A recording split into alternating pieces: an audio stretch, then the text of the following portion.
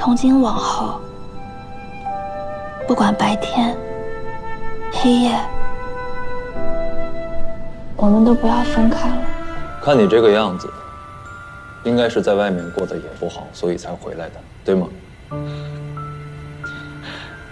那个杀千刀的，卷着我的钱就跑了。我可以保证你不愁吃穿，半生无忧。但是你需要好好做一回母亲。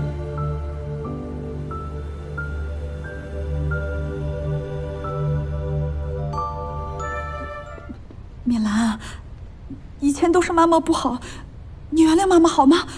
妈妈跟你道歉。哎呀，其实妈妈特别想你，你知道吗？啊！沈先生，我们回家吧。嗯。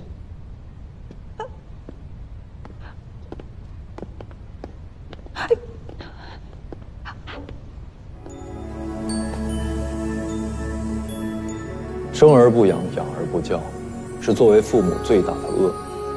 米兰从生下来就看不见这个世界，已经足够悲惨。但是你动不动就打，甚至把所有的责任都推到他身上，让他失去了活下去的勇气。可是我现在做什么，他肯定也不能原谅我了呀。但凡你为米兰做一点母亲应该做的事情，你们母女二人何至于此？他现在不懂得什么是爱，更不懂得什么是原谅。这是你作为一个母亲的罪。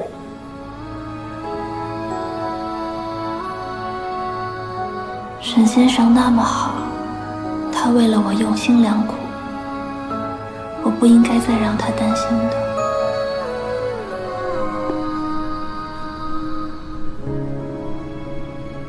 沈先生。还在不开心吗？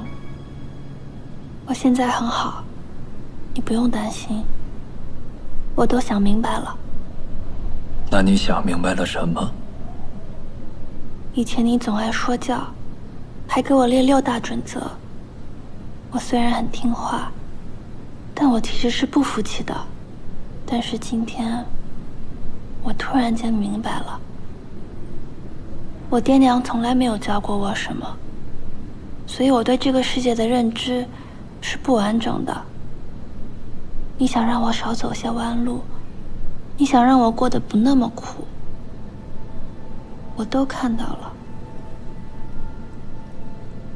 你能明白，我很高兴。过年的时候，威廉、静雪还有有文叔叔来家里，我很高兴。娘抱了我那一下，我也很高兴。我以前没有朋友陪，没有亲人爱，是你给了我所有。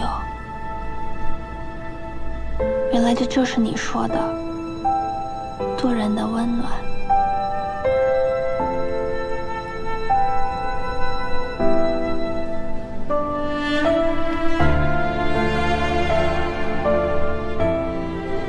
一直说你很冷，但是我觉得你是全世界最暖的人。